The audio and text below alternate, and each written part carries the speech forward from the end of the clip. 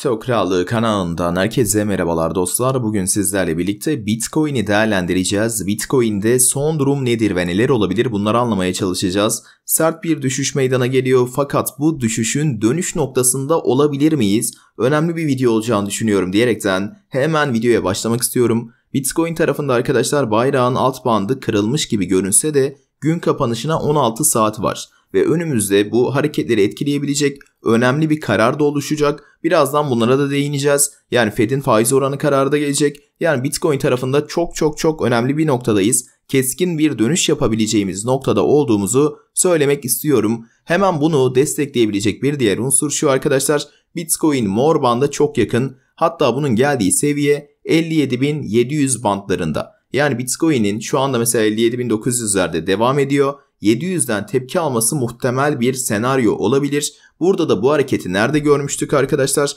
Hatırlayacaksınız şurada tam olarak noktasal şu düşüşü yani 48'den 38'e kadar olan sert düşüşü burada sonlandırmıştık ve ardımıza bakmadan bir yükseliş yaşamıştık ve burada da şu anda herkesin beklediği bir 52k seviyesi var. Market Maker bu seviyeye doğru fiyatı götürecek mi? Aslında bu sorunun cevabı burada saklı olabilir. Bizim bu morbanttan tepkiyi alıp dediğim gibi arkamıza bakmadan artık dönüp çıkmamız gerektiği bir evrede olduğumuzu düşünüyorum. Bakalım bu mor bandı kıracak mıyız, tepki alabilecek miyiz, altına inelemeler olabilir. Fakat burası bizim için önemli bir lokasyon olacaktır. Onun akabinde peki trendi döndürebilecek bir unsur var mı derseniz bu arkadaşlar 54.500'lerin kırılmasıyla oluşacaktır. Çünkü 54.500'lerin altına atan bir Bitcoin. Bakın burada da arkadaşlar gördüğünüz üzere daha düşüş meyilli, meyilli bir Bitcoin'e dönüşüyor. Yani tekrardan buranın dirence dönüştüğünü gözlemliyorsunuz.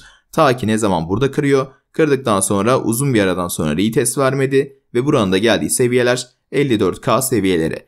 Bakalım buranın altına atmadığımız sürece aslında trendin dönmediğini söyleyebiliriz. Hala pozitifte devam ettiğimizi söyleyebiliriz. Çünkü bahsettiğim gibi Bitcoin bunu geçmişte çok yaptı. Bu aralıktan hep tepki almayı başardı e, ve bu üstünde kalmayı yani mor bandı tekrardan e, kazandığı takdirde de gayet güzel hareketler yaptı. Bakın mesela burada arkadaşlar e, direkt aynı hareketi görebilirsiniz. Güzel bir hareket, sert bir düşüş, mordan tepki, yine mordan tepki, mor kırıldı, düşüş evresini yaşıyoruz. Yine mesela arkadaşlar mordan tepkinin alındığını gözlemleyebilirsiniz. Mesela burada arkadaşlar yine yeşili kırmadan mordan tepkiyi alaraktan yukarıya doğru daha sert hareketler yapıyor. Yani ne istiyoruz? Mordan tepki alması bizim için iyi olabilir 57.700'lü bölgelerden.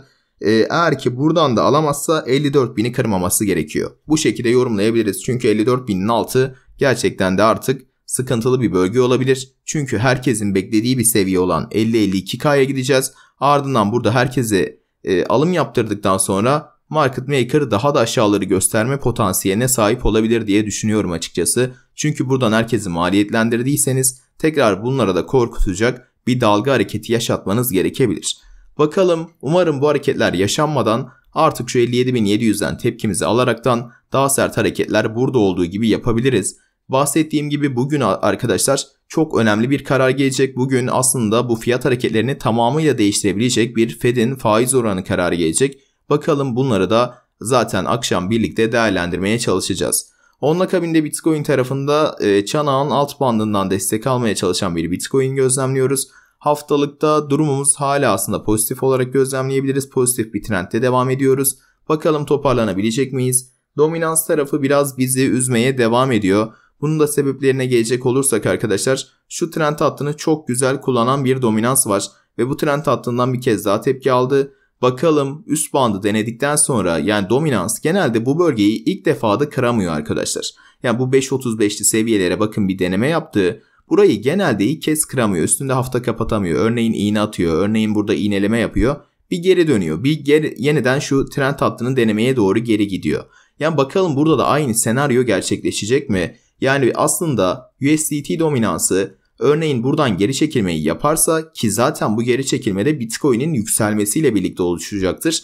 Hem mor banttan dönmüş olacağız hem de şu ara direnç noktasını bir kez daha kullanmış olup tekrardan belki de trend hattını denemeye doğru gidebiliriz demek istiyorum. Bakalım bu noktayı da bu şekilde takip edeceğiz. Kindicator'ın haftalıkta sattı olması bizim için bir diğer önemli unsur. Çünkü haftalıkta uzun bir süredir aldı olan bir USDT dominansı vardı. Satta şu anda ve bunun düşüşleri biliyorsunuz. Yani şu trend hattının kırılması, dörtlü seviyelerin aşağı yönlü kırılması Bitcoin'de asıl rally'yi başlatacak bir diğer unsurdu. Burada da zaten korelasyonu görebilirsiniz. 1 numara, 2 numara, 3 numara, 4 numara hatta maalesef burası da artık 5 numara oldu diyebiliriz arkadaşlar. Yani ne oldu burada? 5 numara olarak burayı nitelendirebiliriz. Çünkü bakın 5. Beş, 5. kez temas etti ve 5. kez tema, temasta yine aynı noktadan red yedik. Yine bir geri çekime yaşadık. Yani bu trend hattının aşağı yönlü kırılması gerekiyor ki dominans burayı kırsın. Bitcoin daha sert yükseliş yapsın şeklinde yorumlayabiliriz. Onun akabinde Bitcoin tarafında haftalıkta böyle bir kapanış gelmesi uzun bir aradan sonra sat sinyali olarak nitelendirilebilecek bir sinyal olacak. Yani MACD tarafını sata dönüştürecek fakat 4 gün 17 saat var.